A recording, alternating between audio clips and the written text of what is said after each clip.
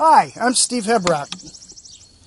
When you see a hoof care provider at work with a horse, are you really confident that you understand what you should and shouldn't be seeing that person doing?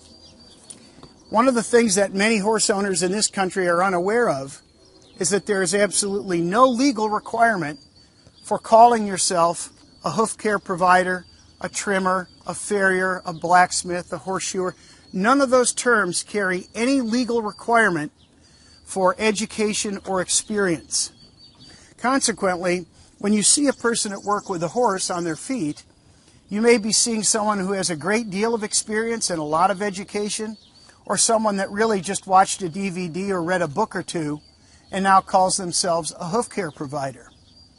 The well known equine anatomist and author Dr. Deb Bennett speaks quite strongly on this subject. Here's what she has to say. As I see it, there are two great problems plaguing the profession of horseshoeing or farriery today. The first is that while its many intelligent, hardworking, and often passionately dedicated practitioners give it the potential to be a science, horseshoeing has not yet risen to that level, but instead, outside of a few veterinary clinics and university laboratories, has largely remained the craft that it was during the Middle Ages the second problem, which is tied to the first, is that most horseshoers lack any training in orthopedics, a branch of medical science whose object is to foster and promote comfort in stance and movement. This is the one proper object of farriery.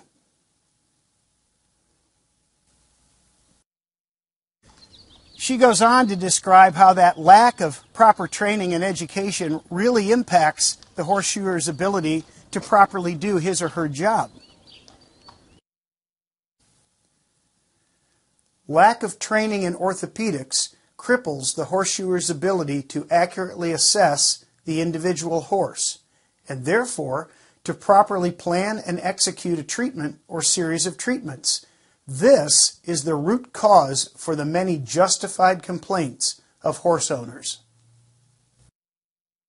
Even more seriously, she points out that improperly trained people really have no business at all working on yours or anyone else's horse. What concerns me, and it ought to be of concern to every horse owner, is that a person with little or no training in physical assessment no knowledge of the development or physiology of body tissues, a vague or incorrect concept of what is normal in stance, who is unprepared to relate the principles of physics or biomechanics to his work, who has never been taught how to develop a long term treatment plan, or even that this would be of importance. This person is going to be asked to design, manufacture, and apply an orthotic device to my horse's limb. When the farrier does not know why to proceed, he cannot know how to proceed. If good work happens, it happens by chance. This last statement is particularly strong. Dr. Bennett goes on to describe how this pseudoscience has really become commonplace in the horseshoeing world and places a lot of the blame for that on the American professor William Russell in a book entitled Scientific Horseshoeing, published in 1903. We find that although there is a correct grasp of anatomy, there is no real concern with maintaining normal feet. There is a concern that masquerades as concern for the horse. Russell's beautifully engraved plates memorialize engineering ideals, not biological realities. They show perfectly symmetrical hooves being measured with gauges, proof positive of the superiority of the scientific approach advocated by the author.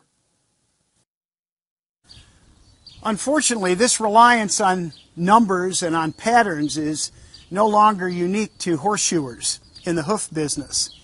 Um, more and more, with the advent of so called barefoot or natural trimming, we see people advancing the idea that they can somehow trim properly using certain templates or certain patterns or numbers or hoof mapping. None of that is correct. You can't do a good job by using that kind of information. Nature doesn't follow any pattern like that when it lays out the design of a particular organism or that organism's parts. Those things tend to follow what's normally called a curve of normal distribution or a bell curve, which I'm sure you're familiar with. She finishes up with a strong caution to farriers, warning them to view each horse as, as the individual it is and trim them accordingly. Constant observation opens the eyes of farriers firmly grounded in the biology of the horse to individual variation and compels them to respond to individual needs rather than following a set, standard, or mechanical program of trimming and shoeing learned by rote and applied by the numbers, irrespective of the needs of the individual horse.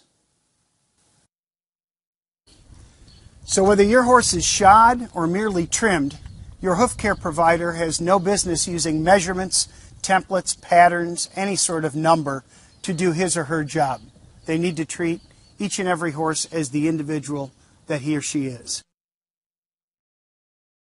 Another problem facing the horse owner is that none of us really have a firm grasp of exactly what we know and don't know about a particular subject. That makes it very difficult for us to be in a position to determine whether someone else is competent in that area. Professors Dunning and Kruger at Cornell University's Psychology Department have done a lot of study in this particular subject area.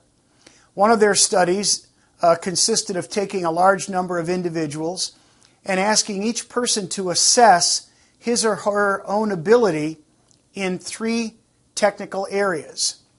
And then they gave them an exam testing their ability in those three areas. And the results are quite surprising. Let's take a look. And as you'll see, the average person ranks their ability in these particular technical subject areas at around the 70% mark. However, when the professors actually tested these individuals on their actual knowledge, a very different picture emerges. As you can see from the graph, their actual test scores are much different from the person's perceived abilities in those particular subject areas. At the low end of the scale, there's as much as a seven times gap between what the people believe they know and what they actually know.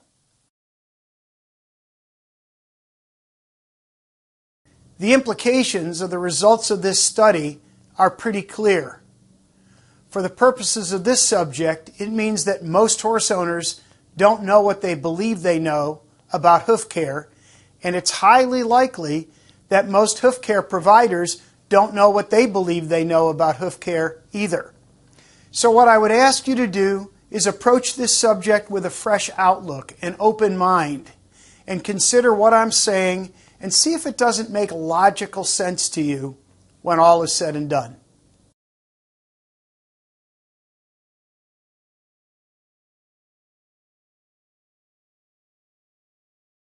So, before we get started talking about some of the theory and practice of hoof care, we ought to make sure we're all on the same page when it comes to anatomy of the horse's foot. So, let's just take a minute and look at some of the physical structures on the outside and uh, take it from there. I know you're all familiar with that hard outer covering over the bones and sensitive structures of the hoof uh, called the hoof wall. And this is the sole. And the separation between the two, or the connection between the two, is referred to as the white line.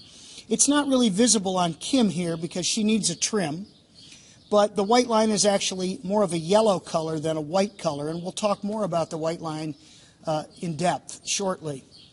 The, the hoof wall doesn't really start and end back here with the heel buttresses, or heels as they're commonly referred to, but rather starts and ends up here with the bars. And the bars start there and come around and go up like this. These bars kind of function like springs, if you will, so that when the horse's foot leaves the ground, it helps return the foot to its normal unloaded state. The frog, the larger structure you see here, apex of the frog, the central sulcus of the frog, this groove you see, and on either side of the frog, between the bars and the frog, are the collateral grooves. Finally, back here we've got the horse's heel bulbs. Sometimes people will refer to those as her heels, uh, but it can get confusing when we, we're not sure if we're talking about these structures or these structures. So just keep that in mind when somebody mentions heels. We're now going to take a look inside the foot and look at some of the structures in there. So here we go. We'll continue our look at the anatomy of the horse's lower limb by considering the inside of the right front forelimb, starting with the cannon bone. This long vertical bone forms the top half of the fetlock joint. And as I turn it around, you can see there are actually four other bones associated with this cannon bone. The cannon bone is also known as the third metacarpal bone. Up at the top of it, you'll notice the second and fourth metacarpal bones. These long, thin bones are the vestigial remains of digits the horse once had. Down at the bottom of the bone, you'll notice two of the three so-called sesamoid bones that can be found in the lower limb of the horse. The function of sesamoid bones is not really one of bearing weight, but rather one of directing or redirecting the motion of tendons. And you'll see how those work shortly. We'll spin back to the front and go ahead and add in the next bone forming the rest of the fetlock joint. This is known as the long pastern bone or P1 and the short pastern bone below it or P2. The last large bone in there is the coffin bone or P3 also known as the pedal bone. And if we turn the leg around so we can look at the back a little better, please note the construction of the joints and how the bones come together. It's very interesting and very important when we talk about proper shoeing and trimming. We'll add in the last of the bones that can be found in the horse's lower limb. That fourth bone there, that little bone is called the navicular bone, found at the back of the coffin bone. And it's a very important bone. We're going to spend quite a bit of time talking about that bone later on. Of course, all these bones are connected together by ligaments. Ligaments connect bone to bone, and these are just a few of the ligaments that can be found in the horse's lower limb. Going back to the front, we can add in some more of the ligaments that are found there. And you'll see there, there's almost a bewildering number of them that hold everything in place, including some structures that are not yet visible in this little presentation. We're going to remove all of those for now and really just focus on the parts of the horse's lower limb that are so important when we're describing proper hoof care and shoeing. So we'll start out by adding this tendon down the front of the horse's leg. There are actually two that have been added, but you can't really see one of them. These are the common extensor and lateral extensor tendons. These tendons are responsible for allowing the horse to tip their hoof up. Down the back of the leg, we have two other tendons. The first one I've just added in is called the superficial digital flexor tendon. And you'll notice that it inserts or connects at the top of the short pastern bone, just below the pastern joint. You'll also notice now the function of those two proximal sesamoid bones up there at the back of the fetlock. Those bones serve to keep the superficial tendon centered and running true across the fetlock joint as that joint is flexed. And now I've added in the deep flexor tendon or deep digital flexor tendon. This tendon is responsible for allowing the hoof to tip backwards in the horse. And a little better view of that tendon, you can see how the superficial flexor tendon actually divides and the deep flexor tendon passes through that division, that split, and comes down to wrap around the navicular bone, that third sesamoid bone, and insert or connect into the bottom center of the coffin bone. Back to the front view here, and we're going to add in the scutum, this little sort of chitinous covering, much like an insect shell, over the navicular bone that helps provide a nice smooth surface for the deep flexor tendon to move over.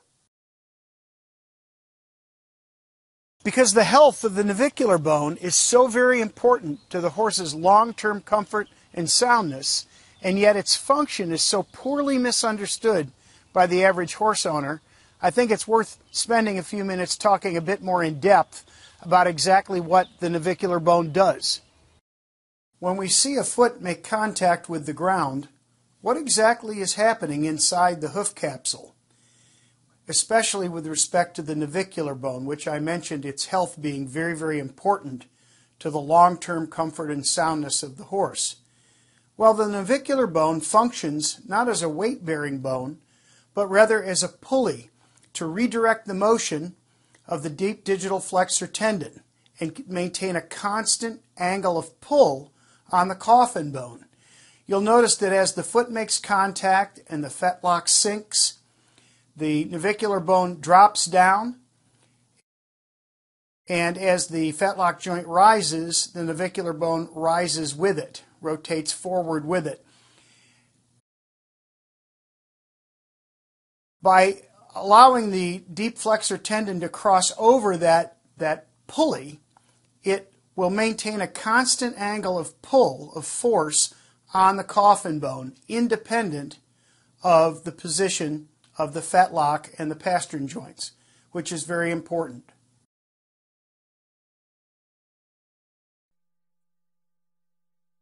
This large structure I've just added into the foot is known as the digital cushion, and this is a large fibrous fatty mass found at the back of the foot behind the coffin bone, and it helps absorb the forces of impact when the foot comes down to the ground and comes under load. On either side of it can be found two large vertical plates of cartilage. These are known as the lateral cartilages. Their function is not well understood, but we do know that if the foot is improperly balanced uh, over the long term, these cartilages will tend to ossify or turn to bone. It's not usually associated with lameness, but still it's a condition that we'd like to avoid when we can. And of course, the foot is a very vascular part of the horse's body. There's a lot of blood to and from it. Uh, veins show up here in blue and the arteries in red, as well as the nerves I've added in in yellow.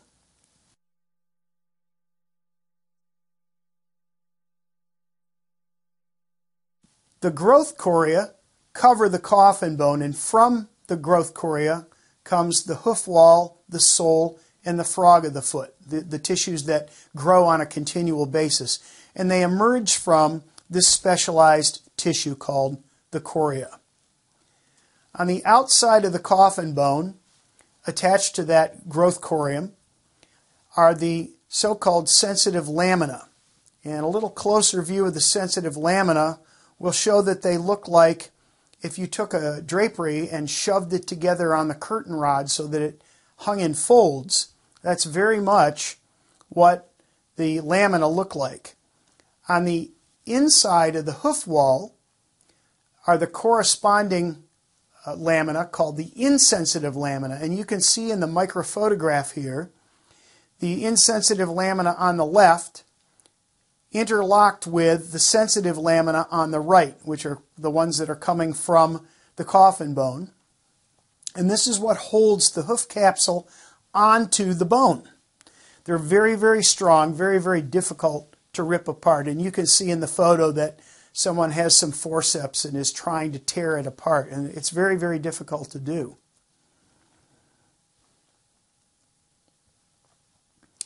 And as I said, the hoof wall has these attachments on the inside of it that line up with or interlock with the uh, sensitive lamina on the growth coria on the coffin bone. And that's really a good look, very basic look, but a good look at the anatomy of the horse's lower limb. It's a very complex structure, and we can't possibly talk about all of it, but we've talked about the important functional aspects of the lower limb. So now that we've taken a look at the lower limb anatomy of the horse and given ourselves a, a, point of departure for the rest of our discussion, let's take a look at how the hoof functions in the daily life of our horses. Obviously, the primary role of the hoof is to facilitate efficient movement. After all, the horse is a prey animal and he needs to be able to get away from his predators very quickly.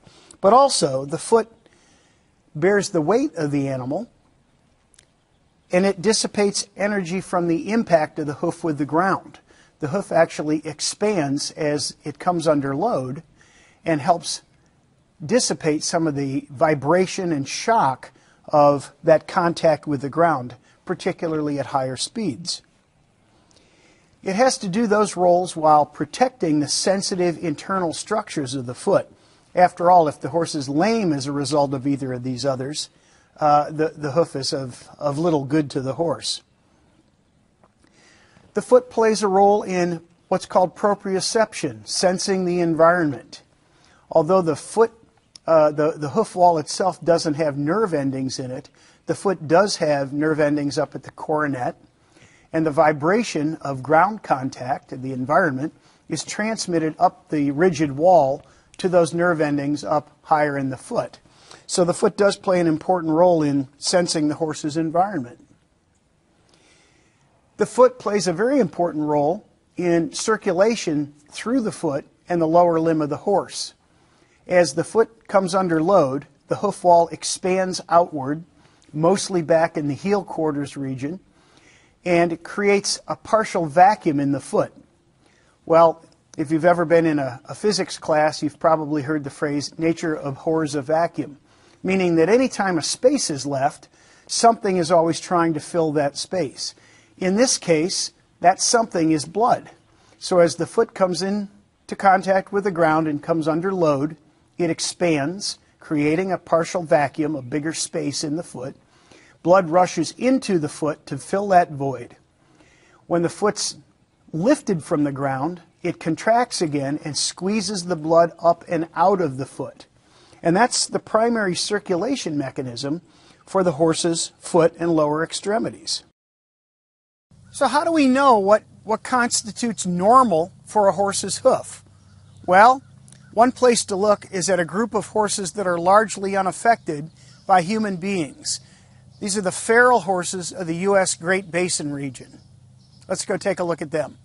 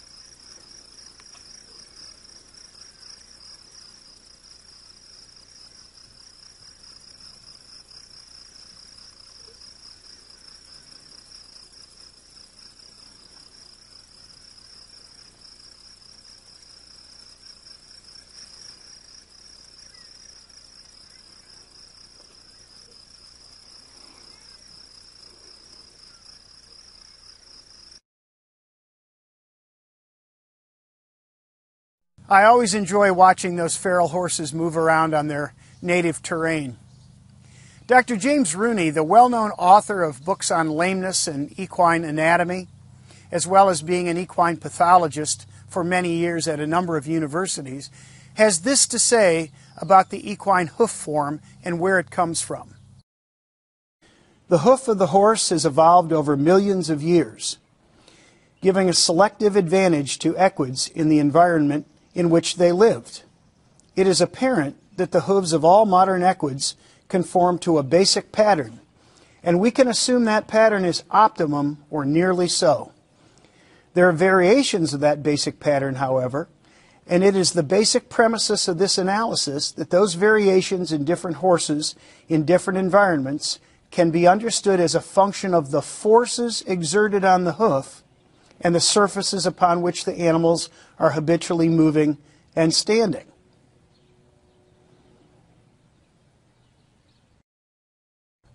So now that we know what the hoof does in the daily life of the horse, let's take a look at the factors that contribute to hoof form and quality. So for any particular foot, there are a number of factors that determine what that foot can look like and will look like and how good a material that foot will grow. That includes the genetics of the horse. Obviously, hoof form is tied to genetics. We don't expect to see a draft sized foot on a little pony. So genetics does play a role in it. And we also see different things like different toe angles and different basic hoof shapes that are associated more with one particular breed than another. So, yes, genetics does play a role in what the form of the hoof can and will look like. Diet is a very important part of how good a foot can be.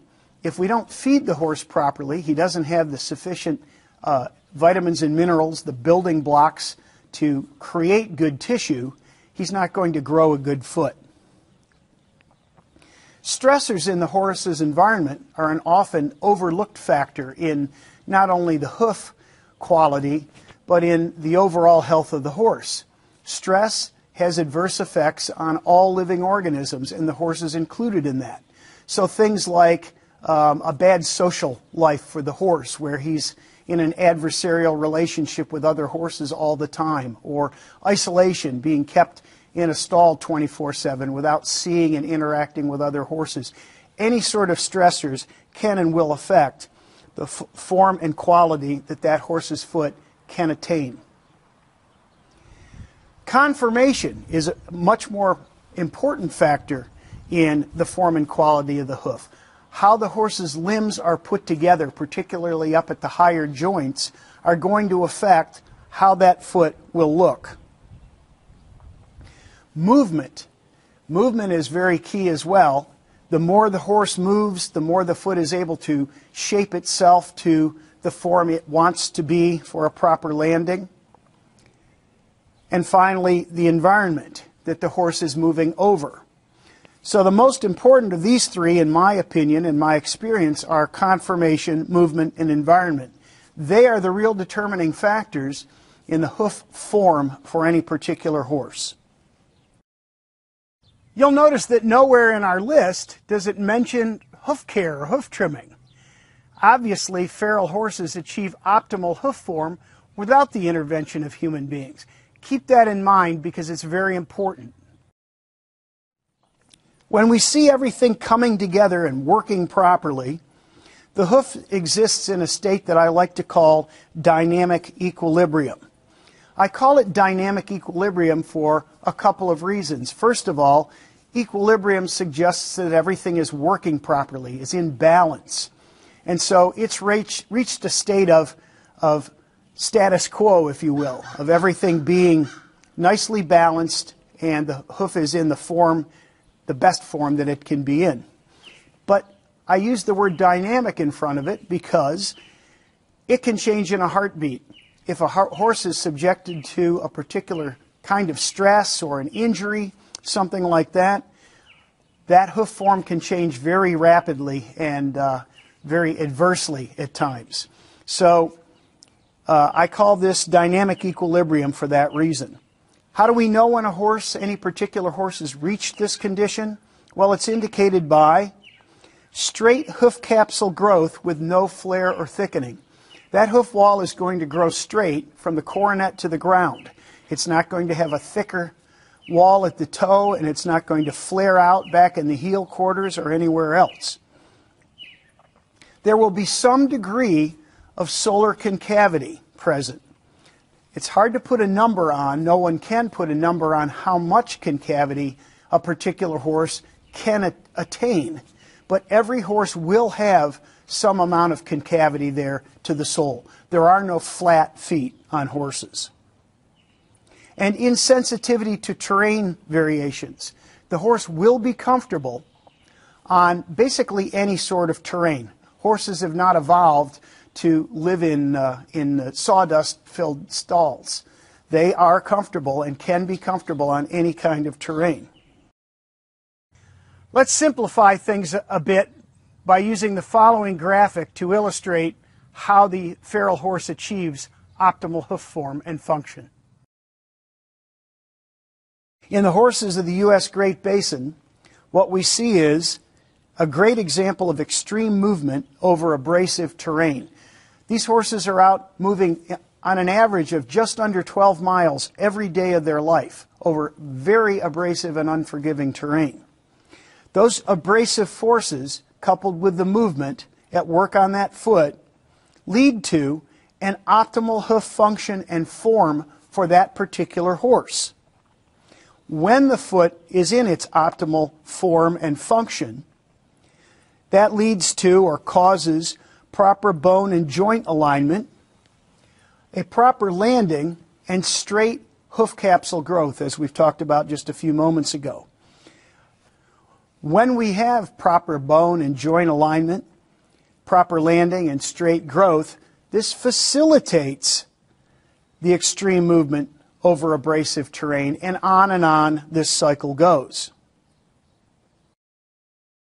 So after all is said and done, what, what do the end results of all of this look like? Let's take a look.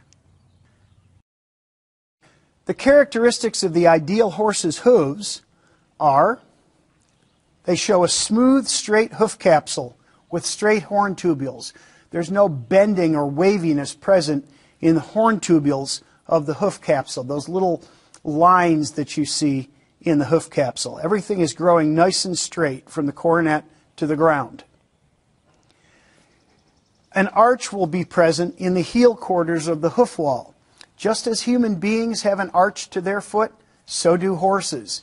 The only reason we're used to seeing flat feet on our domestic horses without an arch in the hoof wall is because farriers are trained to trim feet to be flat in order to accept a horseshoe. But in reality, the horse's foot has an arch in it that's very important to proper expansion and contraction of that hoof as it's loaded and unloaded, respectively. They'll show a rounded outer edge on the hoof wall. This is worn onto the wall by this extreme movement over abrasive terrain, day in and day out. This has been come to be called the Mustang roll.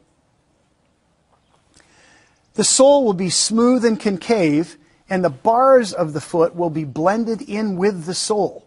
They won't stick out above the sole when viewed from the bottom. It's a nice smooth surface because it's been polished by the abrasive terrain. The frog will be flat and dry and will come into contact with the ground only when it's loaded. In other words, the frog won't stick out below the heels if you were viewing the foot from the top. It will only be in contact with the ground to act as a cushion when the foot comes under load. And lastly, there will be no acceleration of the coffin joint at landing. What does that mean? Well, it means that the foot must hit the ground, must come into contact with the ground flat, evenly, both left to right and front to back. So the result of all of this abrasion on the bottom of the horse's foot, traveling many miles a day, means that the horse's foot contacts the ground flat with no rocking or motion from side to side or front to back. In other words, a landing that produces no acceleration of the coffin joint. This is extremely important to the long term comfort and health of the horse, and it protects the internal structures of the foot. Notice the characteristics we've been talking about on this feral Mustang's foot. Note the characteristics I just described on this Mustang's foot. And you'll notice that this was a fairly small horse um, by the size of the hand in the picture. But notice the smooth wall with straight tubules. You'll see the very pronounced arch in the heel quarters there, the rounded outer edge, the smooth sole on the bottom, and the bars blended in with it, along with that flat, dry frog. The average feral horse travels just under 12 miles every day of his life, whereas our domestic horses' travel is measured in feet or even in steps. That means that we need a substitute for all of the abrasion the feral horse experiences through trimming our horses. And we can substitute that into our U.S. Great Basin cycle of balance for abrasion and travel. So it's necessary to substitute proper trimming into the U.S. Great Basin cycle of balance, which will lead to optimal hoof function and form, which will create or lead to joint alignment, proper landings, and straight hoof capsule growth. And that substitution into the U.S. Great Basin cycle of balance is necessary because, simply put, our domestic horses don't travel as much as our feral horses do. Here are just a few examples of what proper trimming on domestic horses looks like. I've included these four horses only because I happen to have photos of them and could put them into this video. These four horses couldn't be more different. The first horse on the left is a Bureau of Land Management Mustang that was captured and is now in captivity uh, after his trim. The second horse is a Haflinger Gypsy Vanner cross. The third horse is a Swedish warm blood. And the fourth horse is my Peruvian Paso.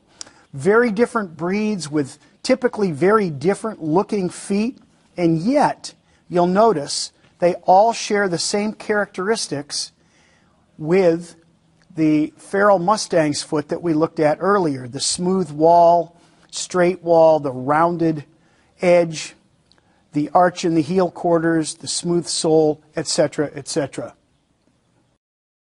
And here's what proper trimming looks like in motion. Notice as the hooves come into contact with the ground, there's absolutely no evidence of any vibration, shaking, anything at the instant of contact.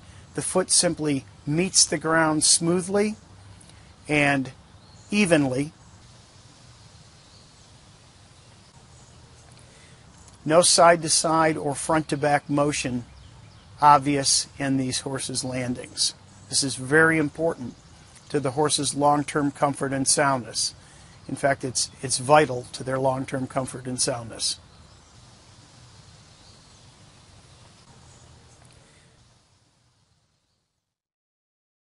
Now that we've had a good look at what proper trimming looks like, it's time to examine the dark side of hoof care and see what the consequences of improper hoof care can be. Note that a hoof can be out of balance in one or both of two directions.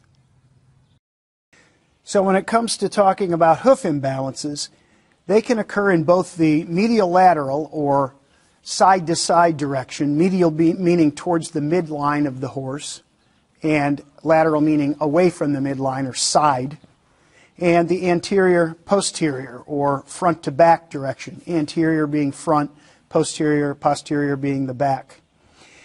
When you have a foot that's not properly balanced, a number of conditions uh, ranging from, you know, merely troubling in the short term to disastrous uh, can occur, including less than optimal movement and this can be the result of either or uh, medial lateral or anterior posterior imbalance, or both at the same time.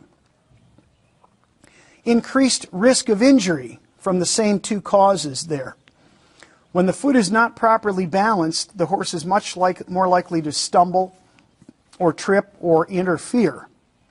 Um, a properly trimmed foot that's the proper short length, uh, the horse does not ever have interference problems and they will be moving their best because we've removed obstacles to proper movement. Sheared heels is a little more serious. When a foot is left unbalanced medial-laterally, uh, usually this is because the heels themselves have been left two very different lengths for a long period of time. The tissue at the back of the foot can actually tear in two, and it's quite painful for the horse, and, uh, and it takes a while to get them back on track. Side bone. Back in the little anatomy video, I mentioned the lateral cartilages present at the back on either side of the coffin bone. And I mentioned that those can actually ossify or turn to bone if uh, the horse is experiencing bad medial lateral balance over a long period of time.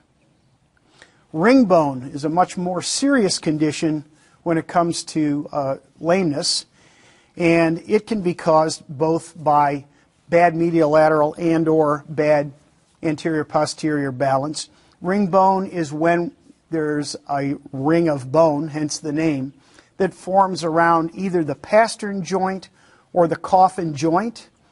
And uh, it, it's a real problem for soundness for the horse and is not fixable. Quarter cracks can also appear. Cracks back in the heel quarters. If the foot is out of balance and landing improperly, those stresses and torsions on the hoof wall can actually cause the wall to crack. And probably the worst of the conditions is navicular syndrome, meaning what appears to be pain located in the heel region of the horse, but no solid uh, evidence to support that diagnosis of a navicular disease problem or true navicular disease, which is when the deep flexor tendon and navicular bone, where they come into contact with each other, is damaged and uh, this comes from uh, an improper landing in the long term. The acceleration of the deep flexor tendon across the navicular bone, that friction will damage the tendon and the bone. Let's take a quick look at a few improperly balanced feet and how they contact the ground.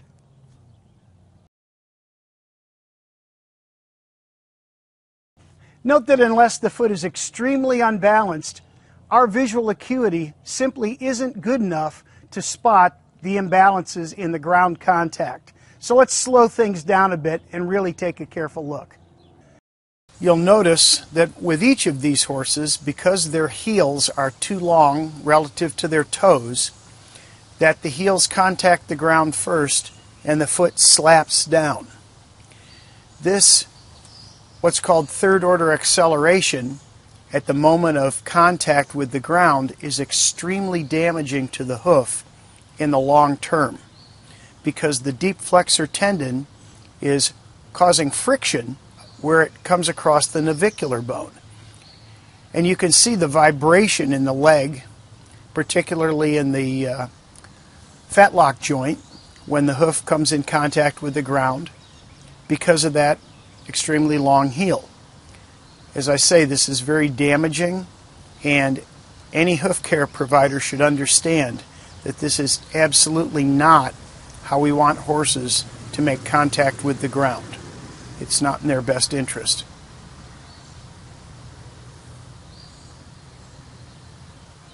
See the shaking in the feet? And this one is particularly disturbing with the amount of vibration and shaking you see in the leg as the horse comes into contact with the ground. Obviously, the harder the terrain, the worse this problem is. So, after watching this, you might wonder why anyone would ever deliberately unbalance feet. Well, basically, it comes down to a misguided attempt to straighten limbs which can't possibly work. If you take a look at how the bones articulate as the foot makes contact with the ground in this short animation, you'll quickly understand why it can't work. As the horse's hoof comes into contact with the ground and the joints are flexing, you'll notice here in just a second that their construction only allows for articulation in the front to back direction. They're not designed to flex or articulate side to side. So an unbalanced foot in the side to side direction leads to real joint problems because of torsions on the joint.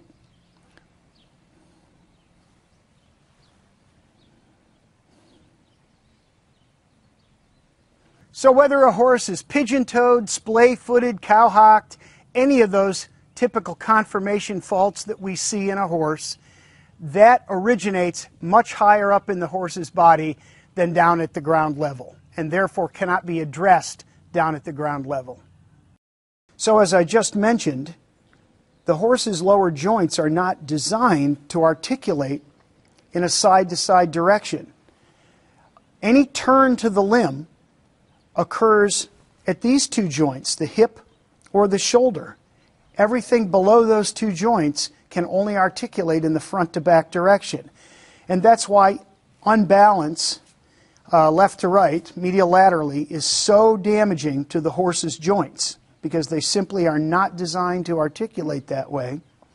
And no amount of twisting down there can fix or straighten what has occurred higher up in the horse's body. I think a good analogy to help understand why deliberately unbalancing the bottom of a horse's foot can't possibly help straighten his limb can be found by comparing the situation to a set of wheels on an axle.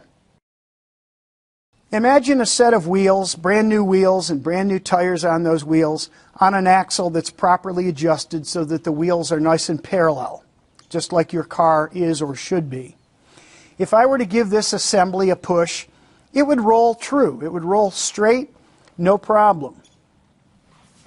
But what if I misadjusted the parallelness of the wheels and tried to roll this? It's not going to roll very easily, if at all, right? And it's going to exhibit a very strange wear pattern on it.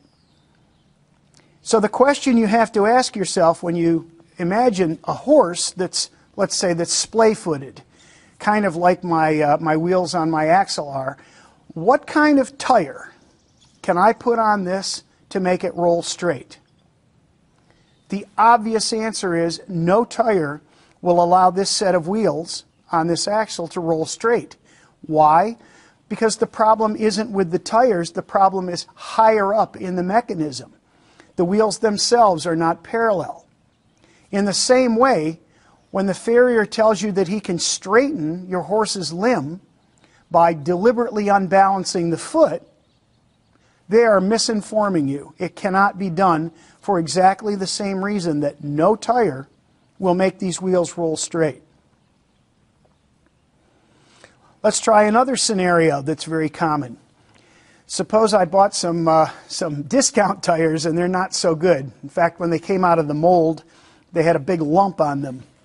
Well, because the tires are softer than the road, um, eventually this bump will get worn off. But for quite a while, I'm going to have a very bumpy ride.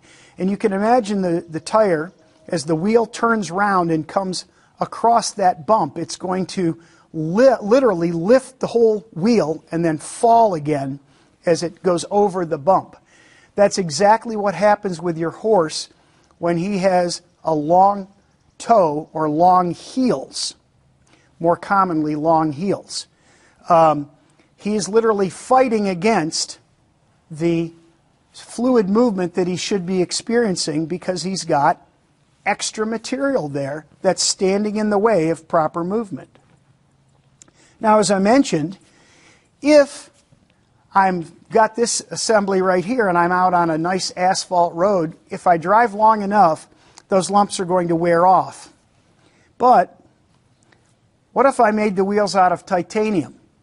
Now I stand no chance of wearing the lumps off. I'm doomed to have a lumpy, bumpy, bad ride forever because there's no way to wear off the titanium wheels because they're much harder than the road surface. This is exactly what happens when a farrier puts a shoe on an unbalanced foot. That horse stands no chance of correcting his own foot through wear. He is doomed to be out of balance and fighting against the trim job, shoeing job, until the farrier comes again.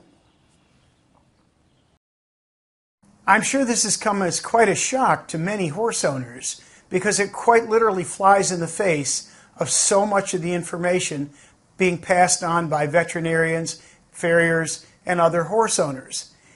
Nevertheless, it's all very logical and completely true. And what it comes down to is we have but one fundamental choice in hoof care. Although the forces that shape the hoof can, to some extent, be influenced, they can't be stopped. I like to use Niagara Falls as a comparison for this. Imagine at the top of Niagara Falls that I drop a big boulder down by helicopter right at the edge of the falls. Well, for a while, the water will divert around that rock. But the forces of friction from the water moving past the rock are a constant. They are constantly wearing away at that rock. And eventually that rock will be gone and the water will flow again unimpeded. Hoof care is exactly the same way. We really only have two choices in hoof care. We can either help the horse get to that state I call dynamic equilibrium through proper trimming. It will allow him to move properly. Or we can stand in his way. Standing in the way is throwing up obstacles, resistance to proper movement, corrective shoeing, improperly balanced feet, long heels, any of these things that do not allow the horse to move in his best unimpeded way will be a problem. And so everything that's done in hoof care can come down to one of these two things because you know what? The way that horse wants to put his foot down is exactly the same every time. You are not going to change how he wants to put his foot down just because you put a special shoe on the bottom of his foot. It has nothing to do with it. In the same way that the tires on the car, the lumpy tires, will not change what's happening with the axle. The axle is the axle and the tires are the tires. So hoof care really exists on a continuum. We can either hinder the horse, prevent him, slow him down from reaching dynamic equilibrium by doing these crazy things to his feet, or we can help him get there through proper trimming, balancing the foot so it comes into contact with the ground properly and the horse experiences the best possible movement he or she can and the longest usable life and soundness. We've spent quite a bit of time now talking about what proper hoof care isn't, but we haven't really talked much about what proper hoof care looks like. Well, it looks like the feral foot. That's what it looks like when it's done. One of the things that may not be obvious from the pictures, though, is that the feral foot is quite short. In fact, it turns out that nature trims the foot to a certain depth based on the tissue of the foot. And a good trimmer will trim the same way, much as the surgeon doesn't walk into the operating room with a ruler and say the appendix has to lie six inches from the hip bone and I'm going to take out whatever I find at that spot. The good hoof care provider will go in and look at the tissue of the foot and trim strictly in accordance with what the tissue of the foot shows him or her to be correct. The fact is, hoof care can never be about creating proper movement. Hoof care can only be about allowing proper movement by identifying obstacles to movement and removing those barriers. Just as nature does with friction when the horse is traveling miles and miles every day over abrasive terrain. the obstacles are removed from the foot, allowing every horse to move to the best of their ability. Nevertheless, we ought to spend a few minutes acknowledging some of the many reasons people believe that they trim or shoe a horse in a particular way. Let's talk about those. So when we look at the objectives or the alleged objectives of hoof care, and mostly this falls into the horseshoeing category, they usually fall into one of three general categories I've found. They're either described as being for protection, for correction, and or for enhancement. So let's take a, a, very brief look at each of these and see whether we or not we now believe that shoeing or trimming can provide these things. There's no doubt that a shoe is a spacer and will raise the foot off the ground approximately a quarter of an inch. So it absolutely will prevent excessive wear because you've now covered a softer surface with a harder surface. And that harder surface is what's now in contact with the ground. So if excessive wear is a genuine problem, yes, of course a shoe can fix that problem. Preventing bruising, though, is a very different issue. Horses bruise on their soles because their soles are usually not hard enough to withstand stepping on certain things, sharp stones in particular. So if this quarter inch of space that the shoe provides takes you safely over rocks, then yes, I guess you can claim that it would prevent bruising. However, you have to know that when you put a shoe on a horse, the quality of material of the sole actually diminishes. I've demonstrated this time and again to clients where I've taken their horse who's shod in the front and barefoot in the back and shown them the difference in the density and hardness of the front sole versus the back sole. And, and it's, it's remarkable to see. So I'm sure you've all encountered horses where they've lost a shoe and they're sore, but the barefoot horse in the pasture next to them is perfectly fine. That's because their sole simply is not of good quality at that point and is being bruised very easily. It's also no doubt that we can modify traction. We can either add or subtract traction from a horse's foot with a horseshoe. Um, Subtracting traction is not normally intentionally done. The only case that I'm aware of is with the hind feet of a uh, reining horse with slider plates. But in fact, a, a plain horseshoe is actually slipperier than a bare foot. So you have to be careful about that because if you take your your horse that's shod with fairly plain shoes out onto, say, wet grass or uh, icy surface, they're more likely to slip than if their feet are left bare. Most of the, uh, most of the devices that we add to a horseshoe, uh, most of the different styles of horseshoes, are all about different kinds of traction adding devices uh, heel caulks, toe grabs, um, rims, uh, fullering, which is putting the groove in the shoe, all of those things, different kinds of nail heads, all of those things are about traction, adding traction. So in the protection category, there are some things that we could do, but really they come down to preventing excessive wear if that's a genuine problem, or modifying traction. The correction category we might as well forget. I hope I've shown you that we cannot straighten crooked limbs with horseshoes or with trimming the foot in a particular way. It simply cannot be done safely and effectively. You may get the horse to stand statically with his feet more parallel by twisting his leg around. But as soon as that foot leaves the ground, it's going the direction that it wanted to go before. And you're putting a lot of torsion in directions that the joints were never meant to articulate on that horse's lower limb. The provide support thing is always a fascinating one to me as an engineer, because if you ask any engineer or physicist, if you can add support by putting something on the bottom of something, they'll quickly tell you that you can't do that. The only way you can add support to something is to increase the surface area.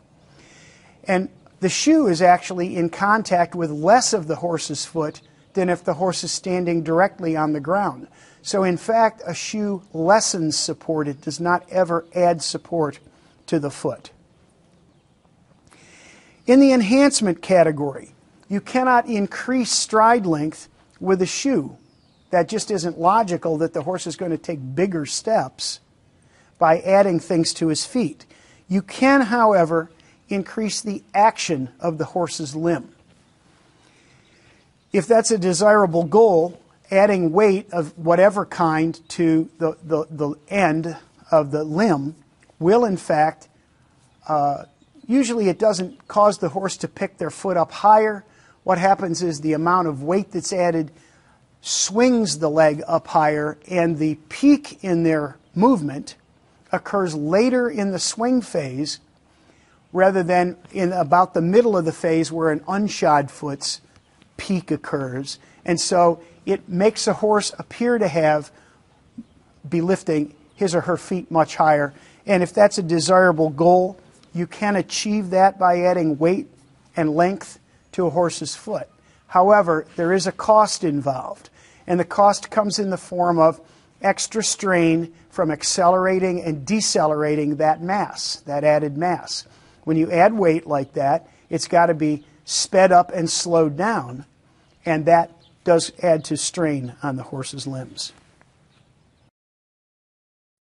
So if you've been following along with me through this video, a pretty logical question at this point would be, why don't we see more lame horses? Why aren't we practically tripping over lame horses in every barn we go in if hoof imbalances are really so bad? Because hoof imbalances are very, very common. They're everywhere. The fact is, some horses will be very sensitive to how they're trimmed, whereas many horses will never take a bad step. But this is a short term thing. There is absolutely no doubt that hoof imbalances cause joint damage. And therefore, for the long term comfort and health of your horse, it's very important that your hoof care provider be leaving your horse with a well balanced foot. One of the most difficult things about transitioning any horse to being barefoot is, in fact, finding the right person to do that job. And frankly, it's practically never the person who has been caring for your horse's feet. Why? Well, because the average farrier is not trained to trim in accordance with the principles that nature uses to trim those feral horses that we've been watching in this video. And unless they're trimmed that way for a proper landing, the horse will have problems eventually. Usually, the farrier is trained to over trim the foot compared to what nature would do, and a typical scenario is then the farrier pulls off the shoes, he or she trims the foot how they would if they were going to shoe the horse. The horse is immediately lame and the shoes go right back on. So you need to do your research when it comes to finding the right kind of person to provide the right kind of care for your horse's feet. Transitioning can take a long time. After all, the damage probably didn't happen overnight. And so it may take a while, as, as much as a year or so, for the horse to heal up. In the meantime, assuming you want to ride, probably you uh, should look into some hoof boots for times when you want to ride over very rough terrain. Your horse won't need them for standing around in the pasture or standing around in a stall or even riding in a sand arena but some horses will need some additional protection while they're being ridden over rough or rocky surfaces. Also, it's important to remember that any hoof care provider only sees your horse a very short time in that horse's life. I estimated not too long ago that the average hoof care provider sees a horse only one half of one tenth of one percent of that horse's time. And that means that as we saw earlier, there are a whole lot of other factors that affect hoof form and function that your hoof care provider has literally no control over. Some of those factors include laminitis, which is a breakdown of the connective tissue between the hoof wall and the coffin bone. The lamina become inflamed, and the weight of the horse literally starts ripping away at that connective tissue that's inflamed. It's a very painful condition. And as a consequence, it's a metabolic problem that's a consequence of improper feeding or some other stressor. And it can be both of those things at the same time, where one alone may not be sufficient to cause the laminitis. In concert, uh, it can push the horse into a laminitic episode, which is very painful for the horse. Toe cracks.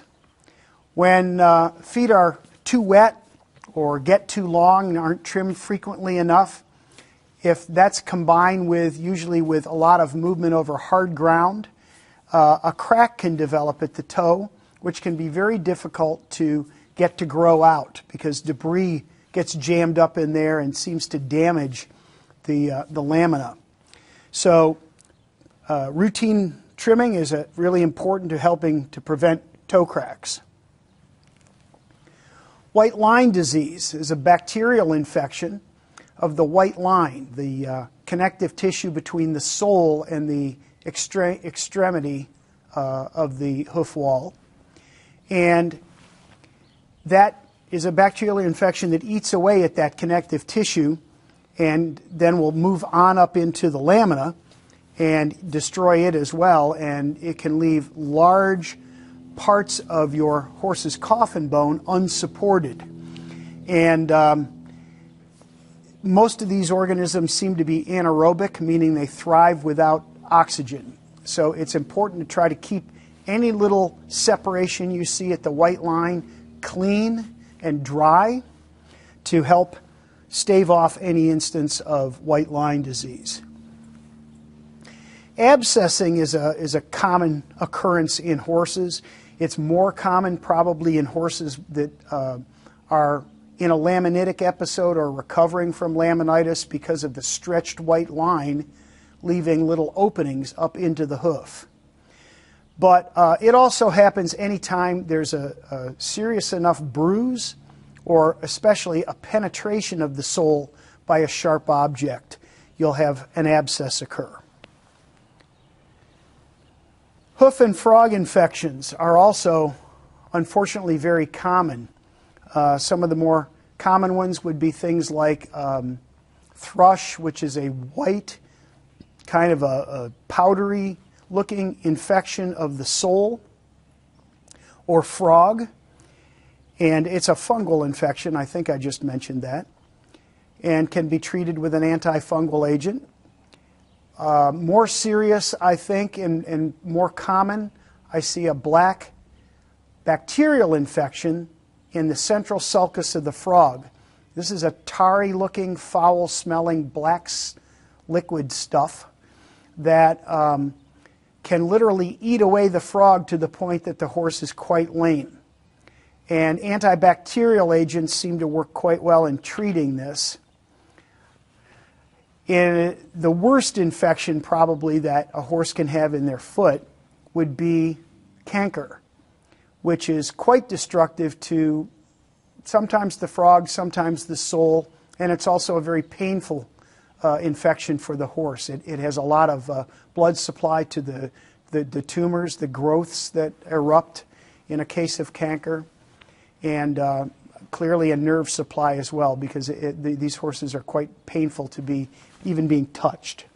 So not only do we need proper hoof care, but we need proper management practices in place to help keep potential problems uh, to a minimum with our horses' feet. And finally, keep the following in mind when it comes to caring for your horse's feet. The best hope any horse has for long term comfort and soundness is to choose a horse whose conformation is well suited to his tasks. I often see people who buy a horse and then decide to do X, Y, or Z with the horse, and the horse simply is not built for the stresses of that particular kind of activity. And so it's important to choose a horse for the activity or choose an activity for your horse. There are good books and other references on conformation and the kinds of things that make a horse suitable or unsuitable for particular activities. Try to, try to do that. Try not to put more stress than necessary on your horse simply because you want to do something with a horse that's entirely unsuited for that particular task. Manage the horse properly. Make sure you're feeding your horse properly. He's getting enough exercise and he's in as stress free an environment as possible.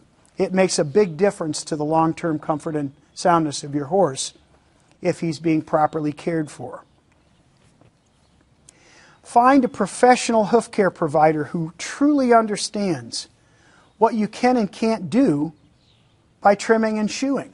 I hope this video has given you some, some good insight into what you can and cannot do through trimming and shoeing. And you find a person who understands that and can give you the kind of hoof care that will ensure the best long term comfort and soundness for your horse. It's also important, as I pointed out at the beginning of this video, to accept the fact that none of us know everything about everything. We all have limitations to our knowledge.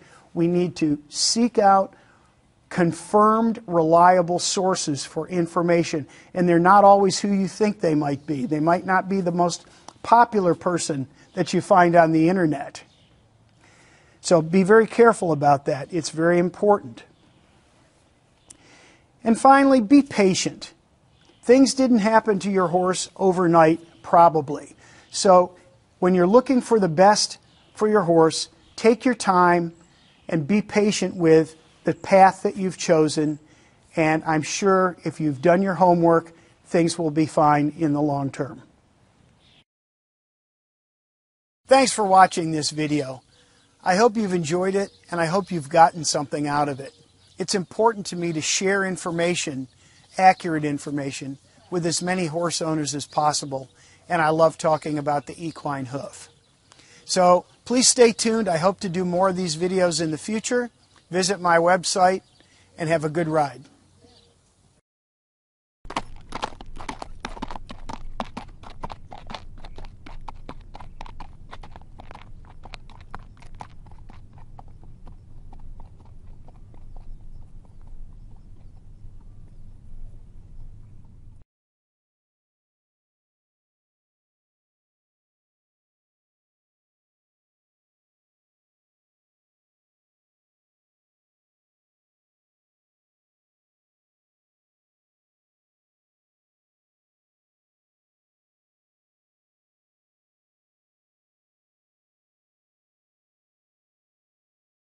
Hi, I'm Steve Hebrock.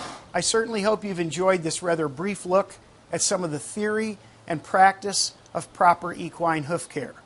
I've made this video in an effort to help educate as many as possible about the right and wrong of hoof care.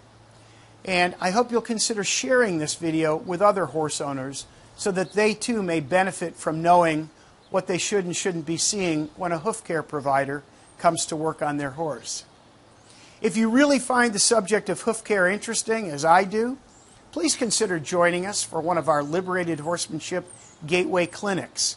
This is five days of intense trimming practice on cadaver hooves, coupled with lectures on the theory of trimming, on uh, other equine management factors like uh, proper feeding of the equine, the equine digestive system, uh, supplements, uh, stressors in the equine environment. We cover quite a few different subjects. This is taught strictly by leading professionals in each of their fields. I know you'll enjoy this. Please consider joining us at the beginning of June for our next offering of the Liberated Horsemanship Gateway Clinic. Thanks a lot.